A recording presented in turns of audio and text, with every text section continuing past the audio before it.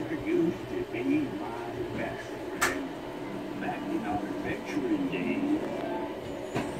Richard, hey Richard, Yes, Richard? come with me. We'll go and see a place called Candid Island. What is Candid Island? It's safe in my mouth. Well, there ain't no fields of lollipops. They glisten in the south. It's treacherous and scary.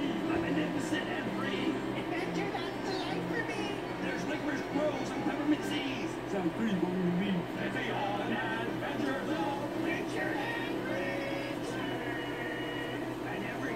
Going